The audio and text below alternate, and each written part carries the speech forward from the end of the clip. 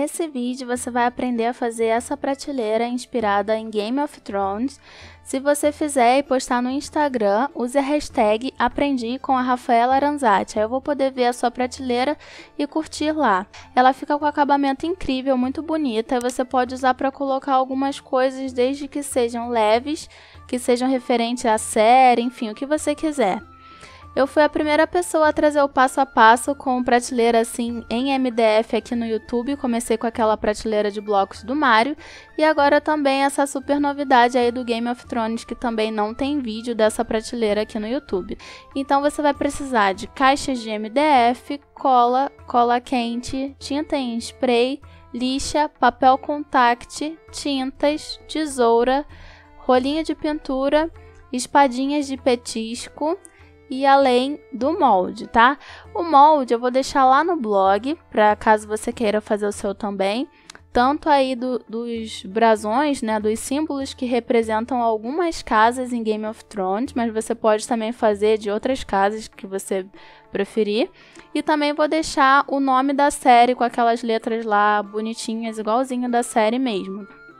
E aí, para começar, você vai precisar ter as caixas né, de MDF. Essas que eu estou usando, elas têm a medida 15 por 15 de largura e comprimento e 10 centímetros de altura. É a mesma medida de quando eu fiz a prateleira de blocos do Mario, tá? E a lixa que eu estou usando é a lixa 220. Ela é uma lixa para fazer acabamento em madeira.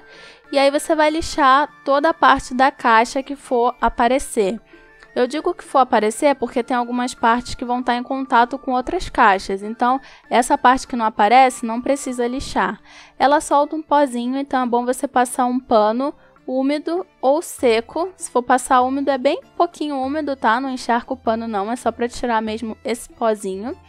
E aí eu resolvi usar a cola de madeira para colar uma caixa na outra.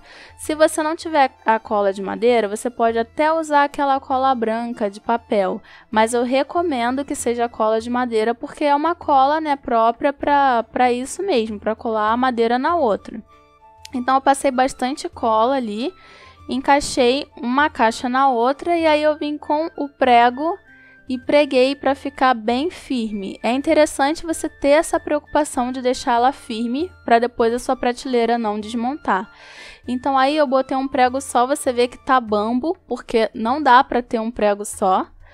Tanto que ali nas outras, se você ver, olha como eu estava fazendo, eu coloquei três pregos no fundo e dois pregos na parte mais de fora da caixa, tá? Que é para ficar bem preso e ainda mais com a cola e o prego. E aí eu usei a tinta branca, latex PVA, para fazer a base da, da prateleira, para ela ter uma cor clara e uniforme por toda ela. Eu passei, na verdade, só na parte de cima, aquela parte onde vai ficar para frente, né? E o restante da caixa eu deixei ela cru, né? Do jeito que ela tá mesmo. E aí eu lixei mais uma vez e tirei o pó. E eu vim com a tinta acrílica brilhante, pode ser a fosca também, mas eu coloquei a acrílica justamente para os símbolos ficarem com uma textura né, brilhosa e tal. E essa tinta é mais chatinha para pintar, você pode ver que ela mancha bastante, mas aí você pode deixar secar e passar quantas camadas forem necessárias. No molde, você vai imprimir do jeito que eu deixei no blog, mas você vai ter que usar o molde ao contrário, como eu estou mostrando aí. Aí você deve estar tá se perguntando, né? Como assim, Rafa, usar ao contrário? Mas é aí que eu te explico. Eu usei esse papel contact transparente para tirar o molde, só que eu vou colocar ele para o lado ao contrário, né, o lado do plástico para baixo, e no molde eu passei cola, cola branca mesmo de papel, por cima do molde, porque eu vou usar o molde do lado ao contrário, porque assim, quando você recortar e for virar o molde, ele vai estar tá do lado certo. Então passa a cola, bastante cola para ele não sair do lugar em todos os pedaços, e aí você vira ao contrário e posiciona ali no papel contact. Você vai colar não no plástico, no papel, do lado ao contrário, e o molde também do lado ao contrário, aí como eu estou mostrando. E aí é só você esticar bem, deixar ele bem presinho ali e deixar secar, tá? Não corta com a cola molhada não, senão pode dar errado, o papel vai ficar muito mole. Então espera secar, aí depois você corta. Olha, colocando ali contra a luz, dá pra ver o contorno e dá pra ver como que fica ao contrário e pra frente. Porque senão, se você cortar errado, na hora que você for colocar na caixa, o símbolo vai ficar pro lado ao contrário, o lado que não deveria. E aí, depois de seco, é só você recortar, se guiando ali pela marcação do desenho. É bem simples, porque contra a luz dá pra ver. E ele vai ficar dessa forma. Então é só você tirar o pedacinho do, do plástico, né? Separar o papel do plástico do papel contact e aí posicionar aonde você quer deixar o desenho. Eu optei por deixar os desenhos, as imagens né, e as, as letras também do, da série centralizadas em cada caixa. Então eu tive essa preocupação de posicionar no meio. Mas se você quiser deixar na ponta, aí fica a seu critério. Eu colei ali o plástico de volta no papel só para eu poder ter mais firmeza na hora de colar, porque ele fica colante, né? E você tentando botar ele grudando no seu dedo, então eu usei o papel ali por baixo só para dar uma segurança mesmo na hora de colar. E aí eu fui tirando em partes e fui ajeitando para evitar que ficasse enrugado, estragasse a, o formato né, de, desse corte que eu fiz e fui colando aos poucos e fui ajeitando até ele ficar todo coberto, é, bem preso, né? Esse plástico ele não tem muita aderência no MDF, então é importante que você aperte bem para ele ficar bem preso para na hora da pintura não estragar, tá? Então é isso, é só você apertar e posicionar ali. E só cola quando a tinta estiver seca, claro, né? A tinta preta seca, aí você cola. E aí ficou dessa forma, olha, eu fiz a mesma coisa com todos eles. O mais difícil para recortar são os dragões, porque tem muita curva, mas se você fizer com paciência dá para cortar. Agora a parte mais chatinha é arrumar essas espadas. Elas são espadas de petisco que você pode procurar em casas de festa. É, tem colorida e tem prateada assim. Essa prateada meu pai trouxe para mim quando ele viajou para São Paulo, mas eu não sei dizer a loja que ele trouxe já tem bastante tempo. Eu guardei porque eu não sabia o que ia fazer com elas. E elas têm a parte de baixo ali onde segura diferente. Olha, uma é curvada e a outra é mais retinha. Mas você pode usar a espadinha que você conseguir achar. Se você não achar, as minhas eu comprei no Mercado Livre. E aí eu vou deixar o link aqui embaixo de onde eu comprei. Na época eu comprei por 17 reais, só que agora acho que já tá 23 e pouquinho. Aí você vê, tá? Para fazer ela ficar tortinha, como eu faço? Eu passo um pouquinho do fogo, desse calor do fogo, na espada. Pode ser uma vela, um isqueiro, porque na verdade o material dessa espadinha é um plástico, né? Então com o calor ele derrete é fácil de entortar. Aí você vai testando, colocando ali na quina que você quer que fique viradinho. E se não tiver bom, você pode passar mais um pouquinho do fogo. É só interessante você não passar demais, porque senão a espada não vai aguentar, ela vai se partir. E isso é interessante de você entortar ela assim, porque aí você não precisa quebrar a espada para ir colocando ela. Você pode colocar ela de forma inteira, só que tortinha. Você não precisa quebrar, sabe? E aí é só você ir fazendo isso em todas as esquinas e colar com cola quente. A parte que você não precisar dobrar, você obviamente vai colá-la inteira. Sabe a parte da frente que não precisa, né, que ela fique dobradinha. E aí você vai colando, respeitando sempre o plástico, porque esse plástico do papel contact você não pode colar nada por cima dele, porque depois você vai precisar tirar.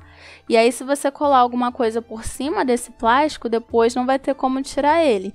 Então, você vai colando as espadinhas sempre respeitando o espaço ali da caixa, colando em volta do símbolo, em volta do plástico. É, o meu objetivo era fazer com que ficasse tudo coberto pela espada, não ficasse espaço nenhum de caixa. Então a parte da frente eu fui colando uma espada por cima da outra até. Só que depois eu vi que não ia dar pra, né, não ter espaço, porque sempre ficam os buraquinhos assim aparecendo embaixo da caixa. Mas eu tentei colar o máximo de espada que eu pude. E também não dava para colar muito, senão ia fazendo volume, né? Então a espada ia ficar muito alta e o símbolo ia ficar meio que lá dentro, assim, né? Mais fundo. Então eu fui colando tanto que eu achei que ia ficar legal. E ficou dessa forma. A princípio parece que vai ficar estranho assim, né? Porque tá muito colorido, não tem nada a ver com Game of Thrones, mas depois fica legal sim. Então a parte da frente tá uma sobreposta à outra. E na parte da, da lateral e a parte de cima, eu não me preocupei tanto em colar uma por cima da outra. Em cima, principalmente porque tinha que ficar mais ou menos nivelado, porque se eu fosse colocar itens em cima da prateleira, ele ia ficar bambo, sabe? Por ter alturas diferentes. Então na parte de cima, eu me preocupei apenas em deixar uma espada, né, em cada lugar, sem botar nada por cima. E aí, na letra O de Game of Thrones, nas duas letras O, tem três risquinhos. E para fazer isso, eu usei essa fita que eu estou mostrando para vocês, que ela é na verdade uma fita de decorar a unha, ela é bem fininha. E aí eu colei três em cada O. Mas se você não tiver essa fita, você pode pegar uma fita durex mesmo ou até do próprio papel contact e cortar em tirinhas bem fininhas e colar lá.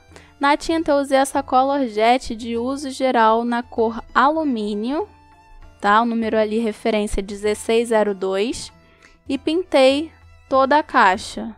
E aí, mais uma vez eu digo, se certifica de que o plástico está bem colado na caixa. Se nessa hora que você pintar o plástico por um acaso tiver um pouquinho levantado, a tinta vai entrar por baixo dele e aí vai manchar o desenho por baixo, entendeu? Então ele vai ficar sem forma. E é, o jeito que você pinta é muito importante para a tinta não escorrer. Você tem que dar leves, é, como eu diria, borrifadazinhas né, da tinta. Você não tem que apertar ela assim direto, porque senão dá muito acúmulo de tinta e aí pode escorrer. Então vai com calma, se for necessário, passa outra camada depois que secar, e aí você vai vendo como que vai ficando. E aí é só você pintar até cobrir tudo e esperar secar. Aí não tem muito mistério, né? E aí depois que tiver seco, é só você puxar o plástico e olha só que incrível, o desenho fica ali certinho e para você pendurar é bem simples, é só você fazer furos na parede, né, com a furadeira, botar a bucha e botar o parafuso. Esse parafuso, perceba que ele tem que ficar bem para fora, ele tá aí uns 7 centímetros para fora e fora o que já tem para dentro da parede. Então ele tem que ter pelo menos uns 10 centímetros daí para cima, tá?